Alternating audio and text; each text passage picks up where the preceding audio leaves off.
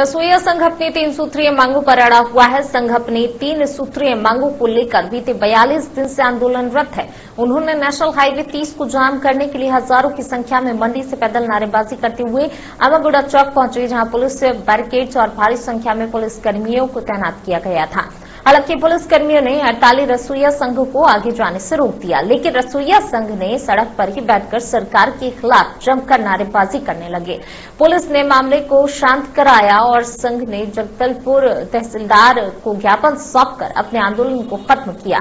रसोईया संघ के प्रमुखों का कहना है, लगातार हम लोग बयालीस दिनों से आंदोलन पर डटे हुए हैं, लेकिन सरकार के कोई भी नुमाइंदे हमसे बातचीत करने अब तक नहीं पहुँचे हैं। लगातार अलग अलग तरीके से आंदोलन को रूप दे रहे हैं। कभी शहर में रैलियाँ की जा रही हैं।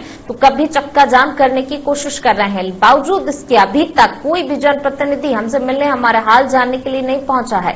2018 के चुनाव में कांग्रेस ने अपने घोषणा पत्र में ये कहा था कि हमारी सरकार आने के बाद सभी को नियमितीकरण के साथ कलेक्टर दर दिया जाएगा। चार साल के बाद भी हमारी मांगे पूरी नहीं हो रही हैं। यही तो दुख की बात है, जब कांग्रेस का सरकार नहीं था तो हम लोग छहत्तर दिन हड़ताल में बैठे थे। उस समय सारे अध्यक्ष, विधायक, सांसद, जो भी कांग्रेस पार्टी का नेता है, हमारे मंच में आए और हम लोग को यही वादा किए थे कि हमारा जब सरकार आएगा तो आप लोग को कलेक्टर दर देंगे बोल के लिखित कागज़ में भी दिए थे।